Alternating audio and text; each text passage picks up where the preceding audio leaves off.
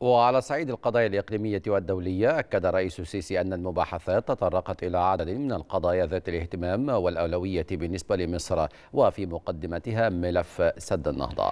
كما أكد الرئيس السيسي أنه تم التباحث حول قضايا الشرق الأوسط وفي مقدمتها القضية الفلسطينية التي تعد القضية الجوهرية بالمنطقة.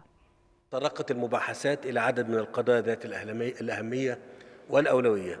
بالنسبة لمصر وفي مقدمتها ملف سد النهضة حيث تم استعراض الجهود المصرية على مدار عقد كامل من المفاوضات من أجل التوصل إلى اتفاق منصف وملزم قانونيا بما يكفل عدم الإضرار بالمصالح المائية المصرية وبحقوق الأجيال الحالية والقادمة من مياه النيل المصدر الأساسي للمياه بالنسبة لمصر. وفي ذات الوقت يضمن فيه أيضا بشكل عادل تحقيق الأهداف التنموية للشعب الأثيوبي. كما تطرقت المباحثات إلى عدد من قضايا منطقة الشرق الأوسط وعلى رأسها القضية الفلسطينية التي تعد القضية الجوهرية في المنطقة حيث تم التأكيد على أهمية حل دولتين وإقامة الدولة الفلسطينية المستقلة على حدود الرابع من يونيو 1967 وعاصمتها القدس الشرقية.